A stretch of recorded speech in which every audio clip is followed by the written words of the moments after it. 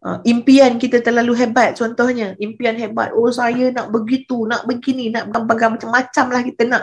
Saya nak jadi jutawan sampai ada 30 juta 40 juta. Nanti saya nak sedekah saya nak itu saya nak ini. Alhamdulillah niat tu baik.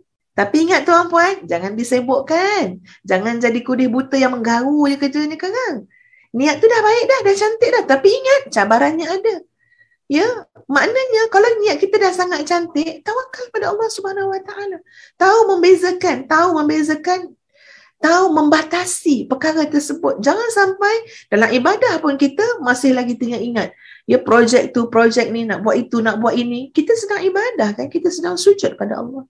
Allah menghadap melihat hati kita kan. Ya, kita sedang menghadapkan wajah kita kepada Allah Subhanahu Taala. Tapi kita penuh dengan harapan-harapan yang kadang-kadang mungkin palsu, Ya mungkin palsu tuan puan sekalian. Ya mungkin mungkin itu cakap kita je. Cakap kita je kalau aku kaya besok gini-gini aku nak gini-gini. Kita tak tahu lagi kemampuan kita sahabat-sahabat. Ya kita belum tahu. Sebab itu kena pandai-pandai timbang-timbang hati ni. Kena pandai-pandai tatang hati ni tuan puan sekalian. Syaitan nak curi hati kita.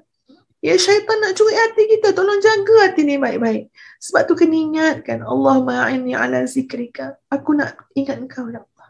Janganlah, janganlah nanti jangan. Ustazah ustazah pun ya macam contoh ya tuan puan ustazah buat projek tahfiz ke apa. Tapi tak naklah projek tu mengganggu fikiran ustazah.